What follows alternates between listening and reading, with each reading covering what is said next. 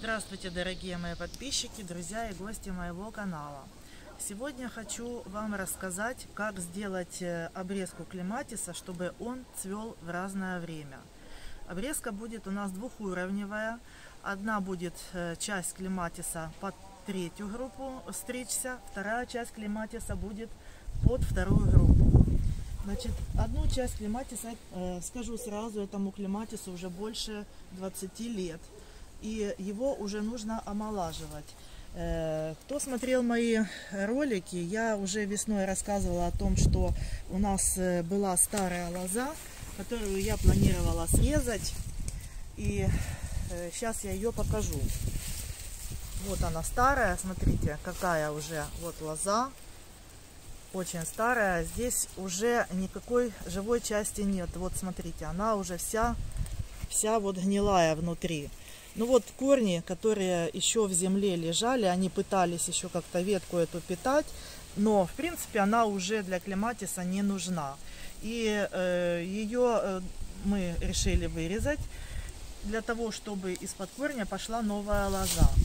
Э, и здесь тоже вот сделана обрезка под третью группу. Мы еще посмотрим, это я сейчас просто в зиму так срезала, э, чтобы, ну, как бы не удаляя лишние какие-то еще ветки, хотя можно еще будет кое-что вырезать для того, чтобы цветение было более обильным и более крупные цветы. Э, но сейчас мы этого пока делать не будем. Так будет все зимовать до весны.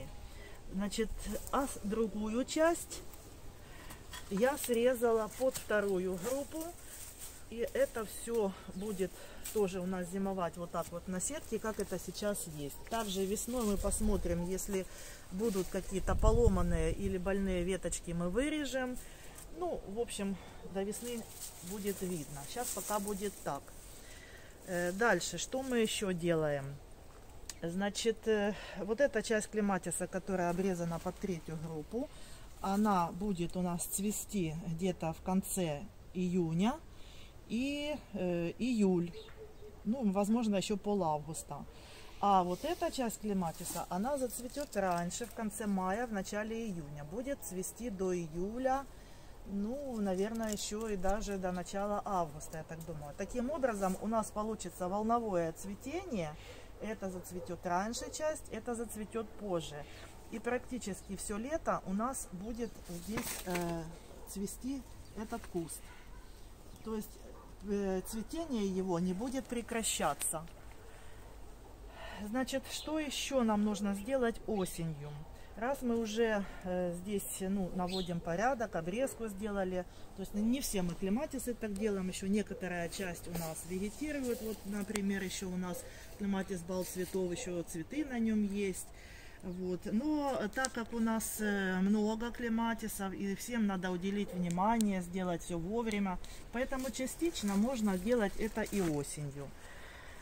Э, мы, э, значит, в осень мы вносим удобрения фосфорные. И также я еще планирую также я еще планирую насыпать перегной. У нас есть очень хороший перегной, листовой и еще перепревший кролиный помет. Э, я думаю, что будет очень хорошо, если мы засыпем еще сверху этого удобрения и перегноем. И все это подрыхлим.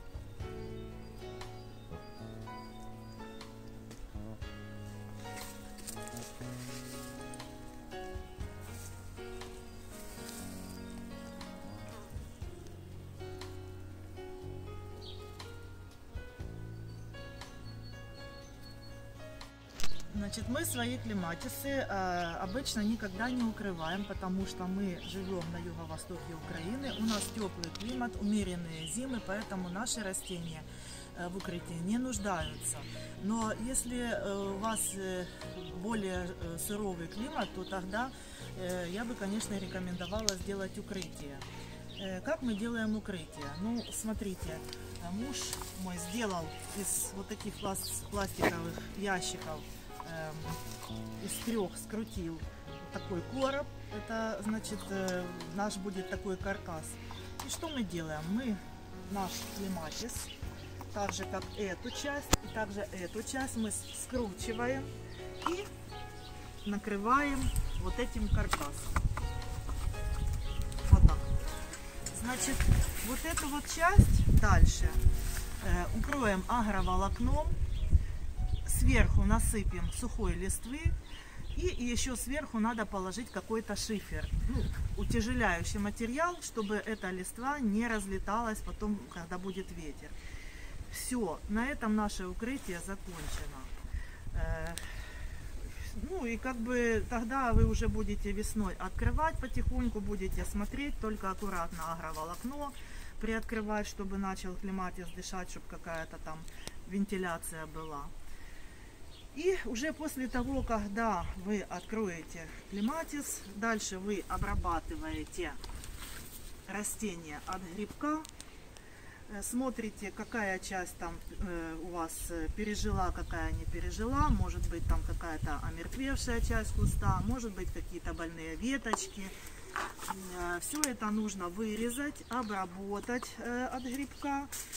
Мы весной, значит, делаем удобрение, сыпем кальциевую селитру. И э, нужно будет подрыхлить, потому что я ж э, осенью еще рассыпаю перепревший навоз, для того, чтобы земля была более рыхлая. Все, вот эту часть мы раскручиваем. Также смотрим э, тогда на то, как перезимовал клематис, вырезаем старые поломанные больные веточки, это называется санитарная обрезка. А, Вот. Ну и э, обработку тоже делаем от грибка фунгицидами системного действия. И все. На этом я думаю, что в принципе все, что касается укрытия, обрезки и э, цветения э, в течение лета наших клематисов. Всем пока-пока, желаю красивого цветения, всем удачи!